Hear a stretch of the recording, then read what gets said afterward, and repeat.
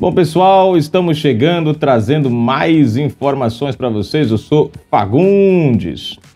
Vamos ao primeiro comentário aqui do nosso vídeo. Hoje, dia 20 de agosto de 2023. Primeiro comentário. Meu amigo Alex Rocha, um abraço, Alex, comentando aqui. Os indícios são circunstâncias, são circunstanciais, mas não são conclusivos. E indícios sem provas robustas e reais é chover no molhado. Sem provas não há como se imputar crime. Em, em outrem, exatamente, né? Circunstancialmente, você pode falar qualquer coisa. Agora, provar, não, tem que ter provas. Vamos lá. PF afirma que provas apresentadas contra Bolsonaro pelo hacker são frágeis. Tá aí, valeu, Alex. Um bom dia, um bom domingo, meu amigo. Vamos para a matéria, gente. Olha aqui.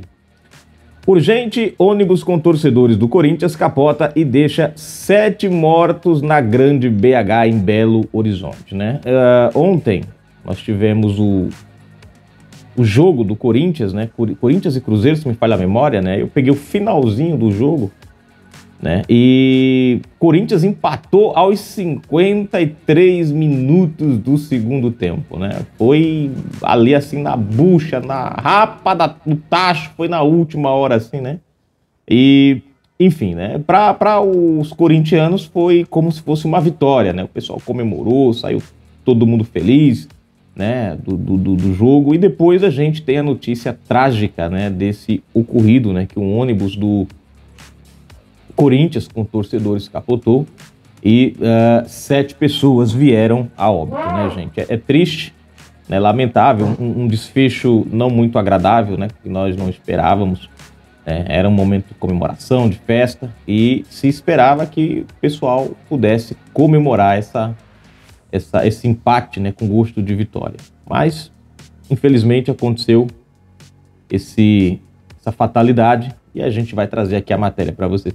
Esse é aquele tipo de matéria que a gente traz, mas a gente não, a gente gostaria que não precisasse trazer é, esse tipo de informação. Na verdade, a gente, precisa, a gente gostaria que não acontecesse esse tipo de fato, né? Mas enfim.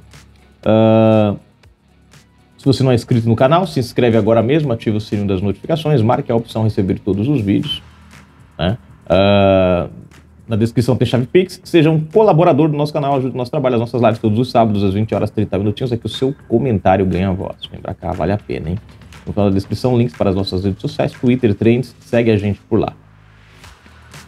Um ônibus com torcedores do Corinthians capotou na rodovia Fernão Dias, na altura do quilômetro 520, na madrugada deste domingo 20, em Igarapé, na Grande Belo Horizonte. O veículo seguia para São Paulo após uma partida de futebol do Corinthians contra o Cruzeiro.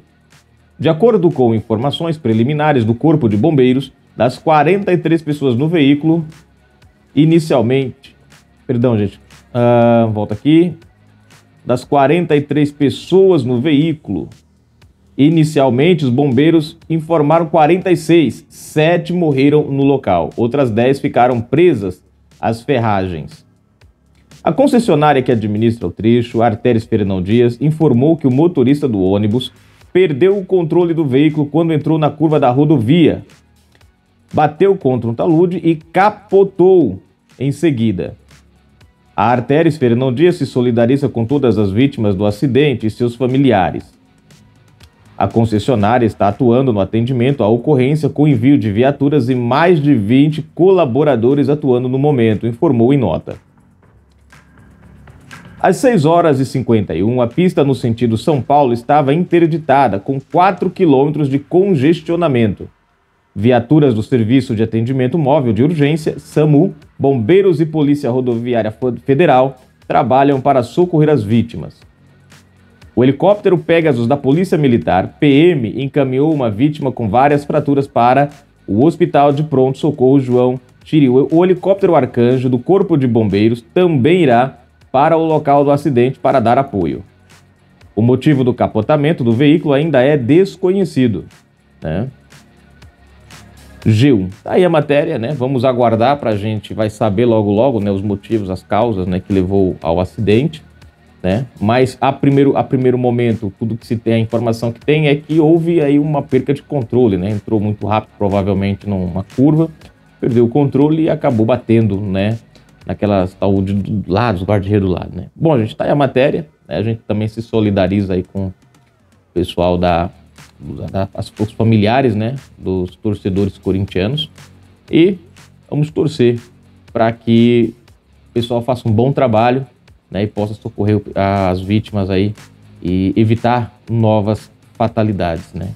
E torcer para que também não, não venha a haver novos óbitos. Bom, tá aí a matéria.